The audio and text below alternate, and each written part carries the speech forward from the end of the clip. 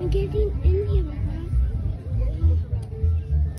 Yeah, I like the big library. I do want a souvenir from Cape Cod. Here, we'll get one.